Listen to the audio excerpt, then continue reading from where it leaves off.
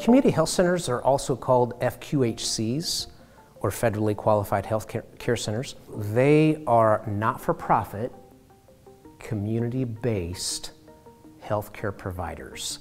Over 50% of their board need to be actual users of their services. And their goal is to provide care in underserved areas and in underserved populations medical, dental, and behavioral health. So, our mission is to get health care everywhere it's needed.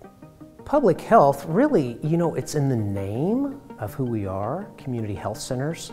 So, what we do through our interaction with the patients, whether it's through primary care, dental services, or medical services, whether it's through our social workers, our community health workers, we're continually giving feedback and assistance and resources to those that we serve in the communities. So, our goal is to empower them to have good access to health care and to address the social determinants of health so they can live healthier lives.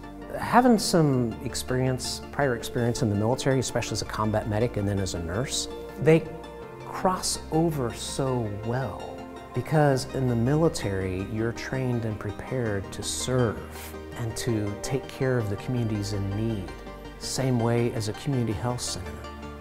Our mission is to serve our communities. So it's a short step, and I'm always trying to encourage veterans to, to join our community health centers and help with public health because you're all about training, you're all about service, you're all about linking arms with your brothers and sisters and helping in the fight. So uh, I think it's a natural progression for those who've served in the military to serve in public health.